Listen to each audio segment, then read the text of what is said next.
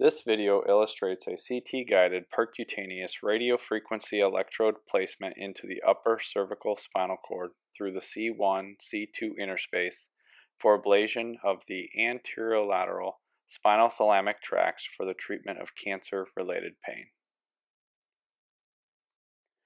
The spinal thalamic tract transmits nociceptive signals, temperature, and non-discriminative touch from the contralateral side of the body. There is a somatotopic organization of axons within the tract. Fibers entering from rostral and caudal segments are located in the medial and lateral parts of the tract respectively. The spinal thalamic tract terminates in the contralateral VPL and VPM nuclei as well as the intralaminar or central lateral nucleus and posterior complex of the thalamus.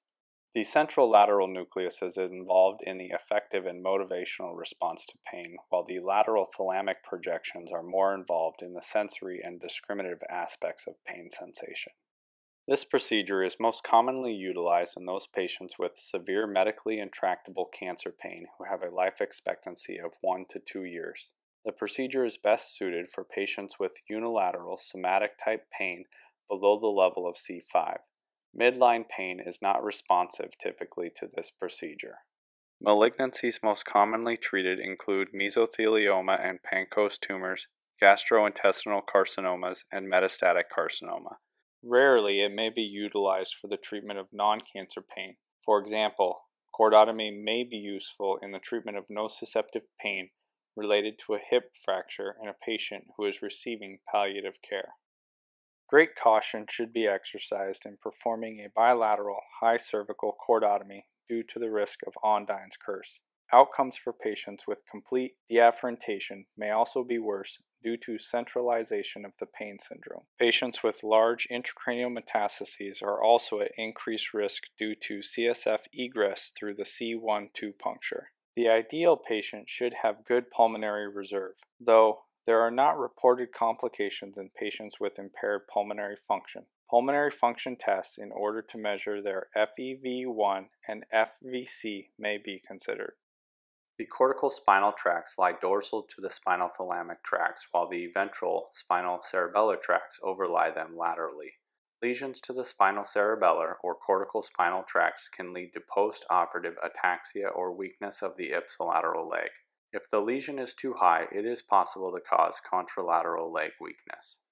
Medially lies the autonomic pathways for vasomotor and genital urinary control found in the lateral horn of the gray matter.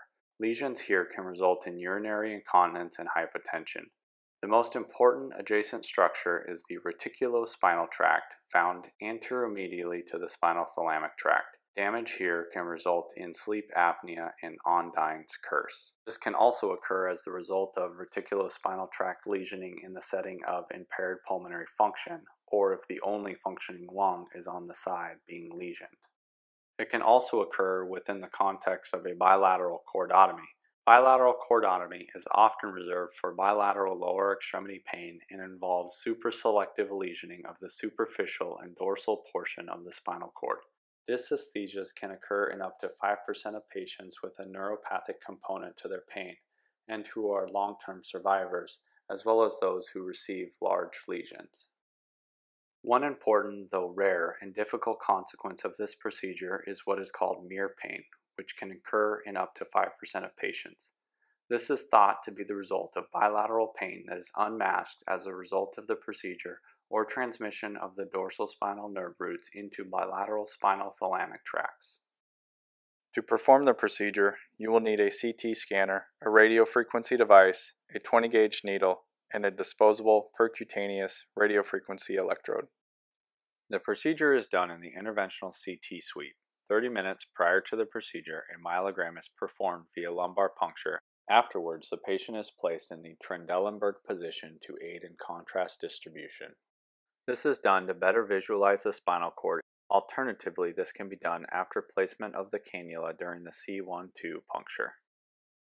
The procedure is done under local anesthetic with monitored anesthesia care. It is important to provide local anesthesia and light conscious sedation for the initial needle placement. The patient should be woken for test stimulation and lesioning. The patient is positioned supine It is important that the head remain immobilized in a straight and neutral position within the CT gantry. The shoulders, if needed, should be pulled down to ensure access to the neck. The patient is draped and the area around the mastoid tip is prepped in a sterile fashion. CT image acquisition should be parallel and zero gantry with 1 to 1.25 mm slices from the foramen magnum to the inferior portion of C2 with a wide field of vision so as to see the skin. The field of view should be narrowed to avoid dental artifact. Prior to insertion of needle, local anesthetic with 2% lidocaine is infiltrated into the entry point. A 20 gauge spinal needle is inserted into the skin and soft tissue just inferior to the mastoid tip, less than the distance to the dura. Serial CT scans are obtained to confirm appropriate trajectory and estimate additional distance. The trajectory is adjusted as needed as the needle is advanced in the subarachnoid space. Just prior to the puncture of the dura, 2 milliliters of 2% lidocaine may be injected to avoid pain secondary to the C2 ganglion and dura. Once CSF egress is confirmed, a repeat CT scan is obtained to confirm adequate needle placement in the anterolateral quadrant of the spinal cord, contralateral to the painful side.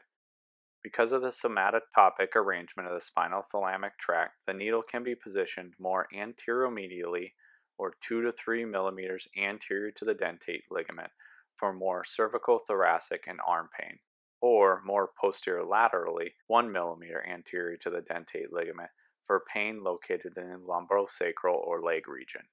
The RF electrode and hub is placed within the spinal needle. The radiofrequency electrode is slowly advanced while monitoring impedance.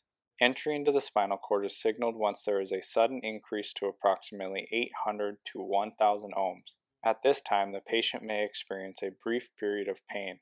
It is not uncommon for the radiofrequency electrode to overshoot the intended target secondary to the movement of the spinal cord and the force required to penetrate the pia. The electrode depth may be retracted by adjusting the probe depth on the hub. There is a lot of variability in the location of spinal pathways, especially with anterior cortical spinal pathways, and it is therefore critical to utilize intraoperative monitoring to ensure patient safety and avoid complications. Sensory stimulation at 100 Hz at 0.1 millisecond pulse widths at less than 0.15 volts is performed to confirm appropriate placement.